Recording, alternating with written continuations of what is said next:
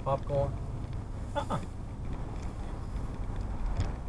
Continue point 3 miles to address 2200 on left. On the left.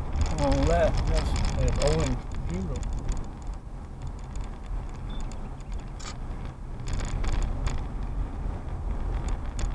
There's a motel.